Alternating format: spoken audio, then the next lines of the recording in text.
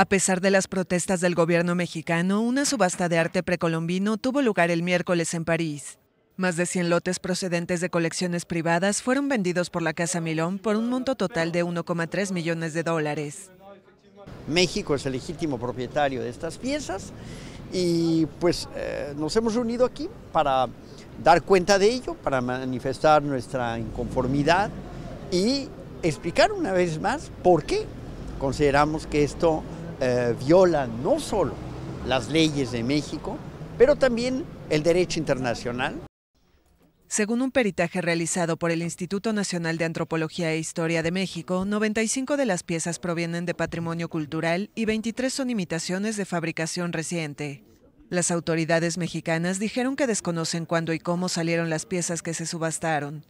La UNESCO recomendó por su parte que se pospusiera la subasta para que Milón aclarara a México la procedencia de las piezas y condenó que no se consiguiera la cancelación.